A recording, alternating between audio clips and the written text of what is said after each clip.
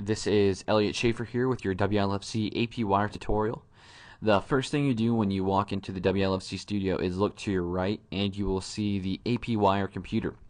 The AP Wire computer is the computer you'll be using to select your state summaries and national summaries to retrieve your news for your show that you'll be doing. And uh, once you get into the program, you'll see on the left that the state summaries are selected currently.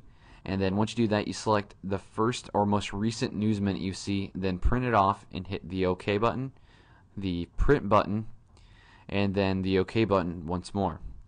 Once you do this, um, you look to your right and you'll see that your news is printing off onto the printer.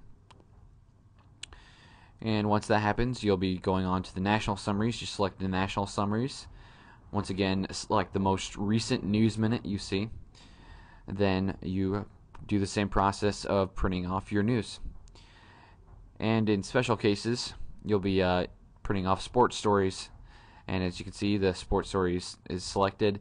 And then you can choose from a various uh, different amounts of sports stories. You'll have different sports that you can choose from. So that's it.